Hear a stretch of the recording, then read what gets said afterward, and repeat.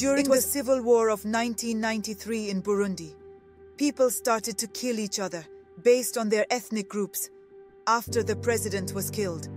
I was raped by three men who left me to die. They were armed men affiliated with the ruling party at the time. I did not report the incident because there was nowhere to report. I was young and scared of reprisals and stigma. I didn't trust the police. I was also ashamed of myself. I did not want anyone to know it. I also had a lot of health complications due to the rape, so reporting was not even my priority at the time. In the last 10 years, conflict related sexual violence has been perpetrated against more than 51,000 victims and survivors across the globe, according to cases verified by the United Nations. Due to underreporting by victims and survivors and challenges related to documentation in conflict settings, thousands of cases of CRSV each year are never documented. The true scale of CRSV to this day remains unknown. Sexual violence is primarily used against women and girls as a manifestation of deeply entrenched and widespread gender inequality. Cases against men and boys have also been documented. I did not expect um, such a thing to happen to me, but I cannot tell anyone about it, not even my family. No one will treat me like a man again if they know. I was treated. I was treated like less than even an animal. Every time I think about what happened, I, um, I feel angry. The United Nations Security Council has recognized that CRSV is a threat to peace and security and requested the international community to put an end to CRSV and assist survivors. CRSV is not an inevitable byproduct of war. It is preventable and punishable. In fact, CRSV is a serious violation of international human rights law and international humanitarian law. It can amount to a crime against humanity, a war crime and a crime of genocide. I was separated and raped again.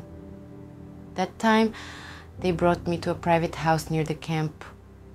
The soldiers who took me were wearing their uniforms, but I saw no insignia to identify them.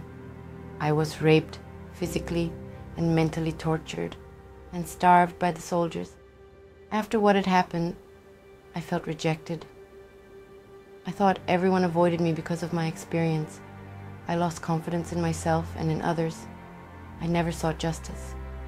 Because to this day, I do not know who the perpetrators are. Which is also the reason why it would be nearly impossible to file a lawsuit. Senior Women Protection Advisors, SWPAs, are experts deployed in UN peace operations, special political missions, and offices of resident coordinators to advise on the prevention and response to CRSV and lead on reporting of CRSV. I am 31 years old. I live in, in the Democratic Republic of Congo. On March 23, 2018, the leader of an armed group brought my wife a little away. And he raped her, while the rest of the group raped me too. I even suffered sexual mutilation when I tried to struggle to set my wife free. And eight days later, the kidnapped women returned to the village, my wife included. She had lost so much weight. She explained to me how she had been raped every day by at least five men, that she had to fetch water, prepare the meals for them, take care of their laundry and other work, we stayed in the hospital for six months where I had surgery. And my wife and I, we continued to see a psychologist as the trauma was so violent. Every new wave of warfare brings with it a rising tide of human tragedy, including new waves of war's oldest, most silenced, and least condemned crime conflict related sexual violence. At the time mm, of my capture, uh, I was 15 years old. I was kept in a dark cell like room with another girl.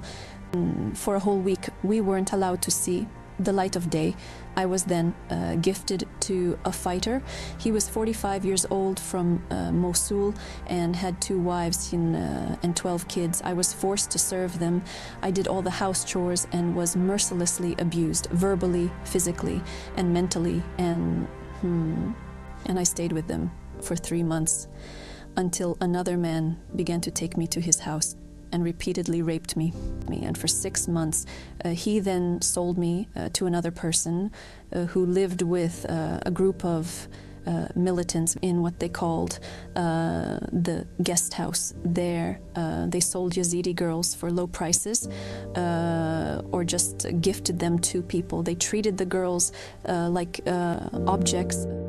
Preventing and responding to CRSV is crucial in the UN's pursuit of peace and security and in efforts to ensure that all women, men, girls, and boys can equally enjoy their fundamental human rights by understanding its impact and acting against it.